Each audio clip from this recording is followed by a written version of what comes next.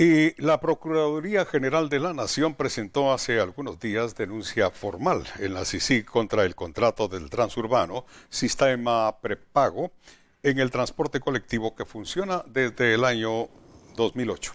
En este sentido, CICSIC va a analizar esa denuncia.